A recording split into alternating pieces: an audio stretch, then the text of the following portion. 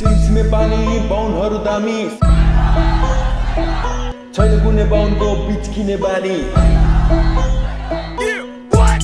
बाहुनी यस्तै त हो नि ब्रो। जहिले यस्तै त थियो नि हो। बाहुनी यस्तै त हो नि ब्रो। जहिले यस्तै त थियो नि हो। बाहुनी यस्तै त हो नि ब्रो। जहिले यस्तै त थियो नि हो।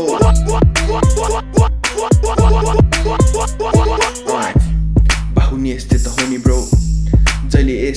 हो नि हो यजमानको घरमा जान्छु पहिलो वस्त्र लाउँछु खासमा यस्तै त हो नि हो औ साइड बित्यो पो होला पूजा गर्न अब ढिलो भयो होला छिटो आउनुहोस् न यजमानको छोरा यजमानको छोरा गीता उठाउँछु म पन्ना पल्टाउँछु चिल्ल्याक्स पारामा फलफुल चपाउँछु भजन लगाउँछु म मादल ठटाउँछु दर्शन गर्न आइज बरु प्रसाद पठाउँछु हवन सल्काउँछु म मन्त्र भटाउँछु हात जोडन आमा बाउ दाजु र भाउ आइज यज्ञमा आरती गर्न आइज नत्र। जय गणेश जय गणेश रिपिटमा म गाउँछु।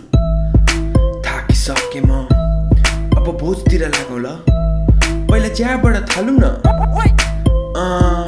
बाक्लो बाक्लो चियामा तिन चम्ची चिनी। खाना अलिक गरम गर्नुपर्छ है नानी? नो नो नो प्लिज बाहुनी यस्तै त हो नि ब्रो जहिले यस्तै त थियो नि हो। बाहुनी यस्तै त हो नि ब्रो जहिले यस्तै त थियो नि हो। बाहुनी यस्तै त हो नि ब्रो जहिले यस्तै त थियो नि हो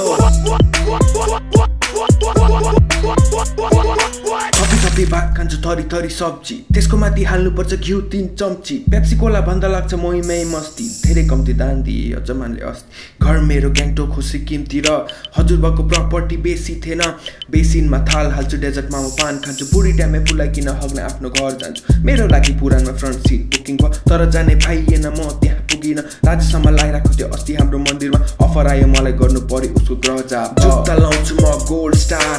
पैजामाको हरायो इचार काँधमा सधैँ मेरो जनाइ अनि हान्दै हिँड्छु म बाहुलाई त्यति थान गएको थिएँ दुध चढाइदिए मातालाई। च्याप समातेर कुटाइदिए भुइँमा मैले त्यो नरिवललाई। अँ त्यतिमै दर्शन गर्न आयो हवलदार। साइड लागे म त साइड लागे म त टाप जोखानामा भने बिहे हुन्छ साप त्यो भनेको नि हुन लाग्यो होला पाँच साल थाकिसकेँ म अब अझै गाउँदिन ल